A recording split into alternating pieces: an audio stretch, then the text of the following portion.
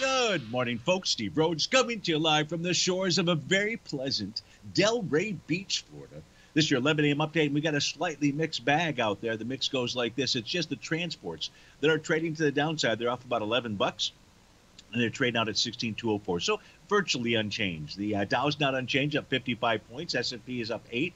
Nasdaq 141. Russell's up 31 points. That's a one and a half percent move. Semis are up 64 one and four tenths percent there. Gold's off 11 bucks, with silver being up 15 pennies. Holy shnikes. You got light sweet crude off 19 pennies, natural gas down two cents.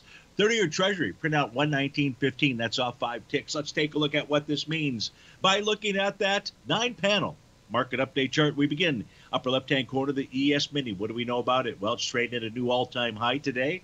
Does not have any kind of a topping pattern other than today is likely going to become bar number eight of a TD9 count.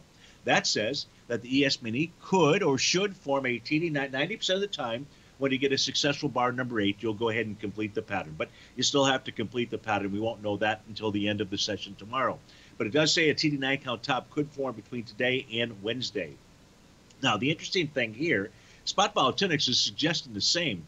Right now, you have the spot volatility 50 day exponential moving average at 1353, and you have the spot volatility trade at 1351.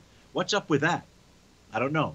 But we're going to have to pay attention to it because if we see a spot volatility close above its 50-day exponential moving average, that could suggest that we're about to see a change in trend inside of the S&P 500 or the ES Mini. Inside the NQ, it's only going to be day number seven for its count. So the only signal out there that it has a Rhodes Momentum Indicator that needs a bearish reversal candle to confirm a top. Inside of the US dollar index, it's testing the top of its daily profile at 104.11. Above that is descending trendline resistance. So you've got the dollar trading into resistance zone. Gold is trading below support, and support being both the bottom of its daily profile as well as uh, trading below trendline support out there. Now, a close below, let me just check this out. I think it's the low here from, let's see, that low was 2024.30. This is 2023.30. No. So 2020, 2023.30. If there's a close below that, now, you know what we're going to do? We're going to use this candle right out here. My apologies. We're going to use the candle session from December 13th.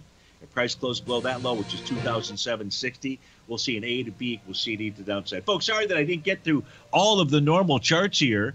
Uh, just was uh, blubbering and blabbering. But uh, we'll cover these instruments, I'm sure, during the Trader's Edge show. So thanks so much for joining us. If you're off to start your Monday, have a magnificent one. And we'll look forward to speaking with you again soon. Take care now.